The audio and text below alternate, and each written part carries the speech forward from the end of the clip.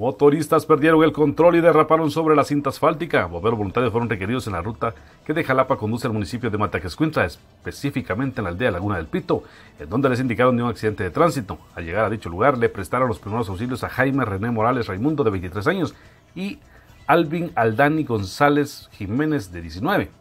El primero en mención presentaba golpes y laceraciones en el rostro, mientras que Gómez una herida en la región del labio y abrasiones en el rostro mismas que se ocasionaron cuando se conducían a bordo de una motocicleta de características desconocidas y por causas que se desconocen perdieron el control de la misma cayendo sobre la cinta asfáltica.